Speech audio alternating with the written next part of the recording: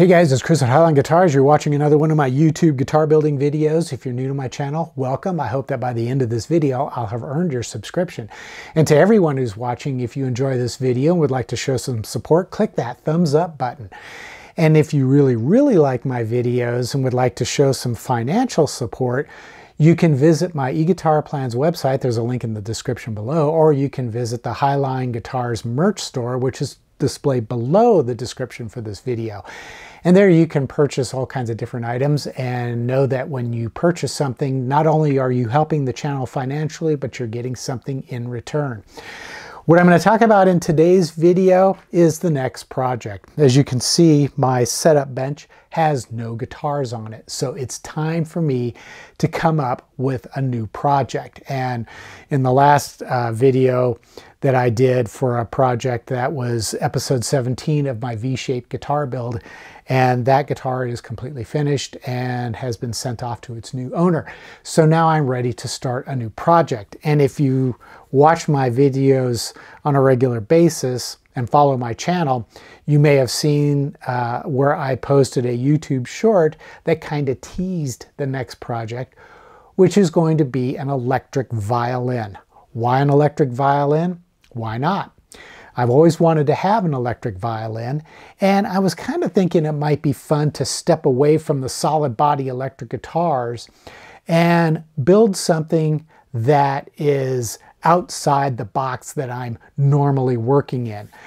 I do that occasionally because I find that when you step outside of the norm and do something completely different, what you learn during that process can really help improve what you do normally.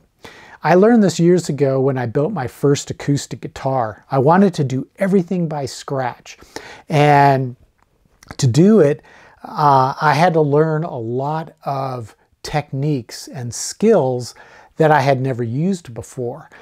And once the guitar was finished, and believe me, a lot of the processes that I had to do to accomplish completing that guitar, I had to do over and over because when it comes to acoustic guitars, craftsmanship has to be absolutely perfect.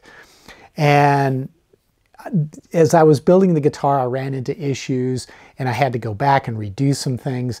But by the time I had finished it, I had improved my craftsmanship to a level that I had never uh, realized I could achieve before. And I was able to apply what I learned to building my solid body electric guitars.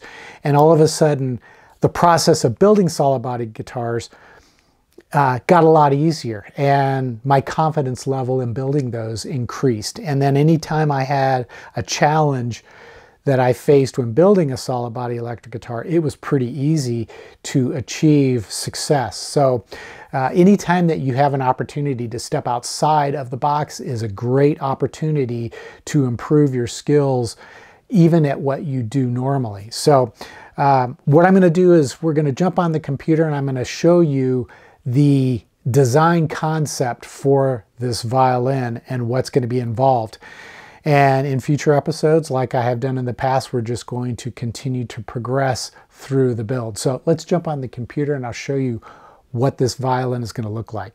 Okay, so this is the design that I am currently working on for this violin. And as you can see, it, it does have some traditional styling cues that you would find in a traditional violin. But then as you can see, like with the uh, headstock, I've deviated from that tradition. And I'll explain why here in just a minute. But what I've done to create this is I downloaded a PDF of a violin that was drawn to scale. And I imported that into Adobe Illustrator then I just simply redrew the lines using that PDF as sort of a guide, a template.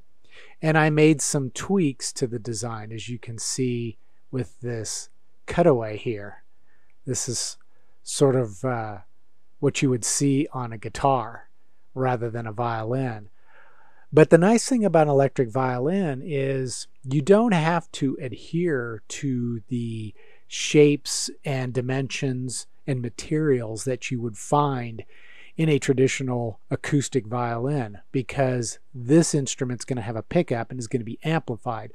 So I can change the shape to whatever I want, really, uh, to make the violin. And if you do a search for electric violins, you're going to see that there are a lot of different cool looking shapes for violins, and some of them get pretty wild. And I didn't really want to get too wild with this because this is just a violin for myself that I'd like to learn to play on. And I wanted to keep it looking like a, a traditional violin, but with that one styling alteration by including that cutaway. Now, the other modification that I made to the design rather than having a narrow headstock with tuning pegs on the side so that the strings come off the nut and then down into a slot like you would see on a traditional violin with a scroll at the end, I decided I was going to use guitar tuners to hold the strings.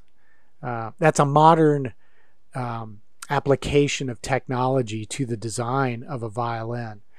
So to do that, I have to make the headstock wider to accommodate the tuning machines. And I still wanted to incorporate that scroll concept in the end of the headstock. So I went ahead and modeled that. And I like it. I think it's kind of cool. Um, one uh, viewer who saw this in one of my YouTube Shorts said he felt it was too wide. Uh, and yes, it is. That's because our brains are trained to see the narrow headstock that uh, is found on a traditional violin shape. And clearly, this isn't going to be strictly traditional in its design. So I can take liberties, I think, with the shape of the headstock. So I think that'll work out well. And the use of the guitar tuners is going to make it a little bit easier to tune the pegs or to tune the strings. So, um, but the rest of the violin, the body is going to be carved on the CNC machine and it's going to be hollowed out. So that'll help to save some of the weight. Now, normally with a violin, you have the sides are bent and then you have a top that's carved and then glued down into place. What I'm going to do is I'm going to carve the body in two pieces, an upper half and then a lower half. And I'll probably talk more about this in detail in the next episode as I show you what I'm doing to prepare the files to make this. Uh, right now I'm just concerned with explaining the concept here. But I'll probably make the body out of mahogany. Like I said, two halves. Those will be then glued together. And I'm hoping that the weight will be an, uh, low enough to where I could pinch the violin between my shoulder and my chin and hold it there while I tune the strings. Uh, there may be a little bit of extra weight here. I'm not sure. This is sort of like a, a prototype concept, but uh, we'll see if I can get that weight to something that's more reasonable. Uh, but we'll, you know, who knows? It's, it, I'm kind of uh, pessimistic with respect to the weight. I think it's going to end up being a little bit heavier than a traditional violin. Now, as far as the electronics are concerned, most of your violin, electric violins, make use of piezo uh, type pickups, which are attached to the bridge, which is just a floating bridge here. And then they're usually wired either into a jack, an output jack, which you can then plug into your amplifier, or you can plug it into a preamp before it goes into the amplifier. And then other types use, uh, again, the piezo pickup, but then they wire them into a built in onboard preamp, usually battery powered. And from there, it goes out to the amplifier. And I've decided, I think, at least for now, that I'm not going to use an onboard preamp because I don't want to add the weight. I would rather have a simple uh, piezo attached to the bridge, wired into a jack, output jack that is mounted on top of or underneath the body. And then from there, I would plug it into a preamp and then go out to an amplifier. And that I think would give me the signal I want. Now, as far as I know, uh, preamps aren't absolutely necessary. A lot of it depends on how the violin is sounding uh, with the amplifier that you've paired it with. So I'll test it and see how it works. And if I don't like it, I can always pick up a an external preamp, like a pedal preamp. Um, and they have preamps that have uh, tone controls and volume controls and such, so you can manipulate the signal before it heads to the amp. So we'll just see how that works out. You know, again, I've never done this before, so this is all new territory for me. And um, as I said before, it's this is a way to step outside of the box that I'm used to being in and trying something different so that I can hopefully expand my skills and improve my craftsmanship when building my traditional solid body electric guitars. So, um, but we'll see how that goes. Now, one thing you may have noticed as you look at this is I have not included the tailpiece or the chin rest. And the reason for that is because since this is a traditional violin shape, I can use an off-the-shelf tailpiece and chin rest on this violin. And the nice thing about those parts is they're not a permanent component that's that's attached to the violin or carved out of the violin. They're separate pieces which can be installed and removed whenever you want. So because this is a new concept for me to build, I'm just going to use off-the-shelf parts for now to get an idea of how they work and how they function with this violin. And down the road, if I decide, I can make my own for better quality and replace the ones that I purchase off the shelf to install on this violin.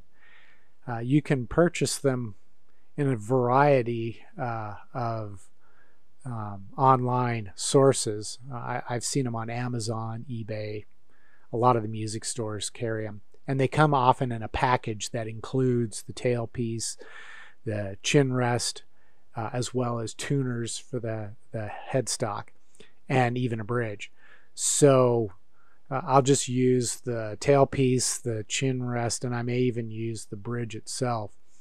And I'll install those and see how they work and and how I feel about them. And if if they're if I like them, then I'll just leave it as is. But if I want to change them to maybe improve their performance or how they appear with the rest of the instrument, I can always create the 3D files and then write the G code and carve them out on my CNC machine. But since they're so inexpensive, I don't see any reason to fabricate my own now when I can just use the off the shelf parts to get an idea of how they they perform. So that's how I'm going to handle that. So that's the basic concept for the design of this electric violin. And I still have some work to do on it and I, uh, some more decisions that I need to make as I progress uh, towards the actual construction of the violin. In the next episode, part two, I plan to explain in more detail how I'm going to set up the files that I'm going to use to cut the body, the neck, and the fretboard on my CNC machine. So that should be pretty interesting because this is going to involve some completely different techniques and approaches from what I have done in the past building my solid body electric guitars. So uh, be sure to check that out. In, the meantime though, uh, I hope you've enjoyed this video. Be sure to give it a thumbs up. Visit eguitarplans.com. Visit my Highline Guitars merch store down below. And I hope to see you in the next episode as we progress through this project. Take care and stay safe.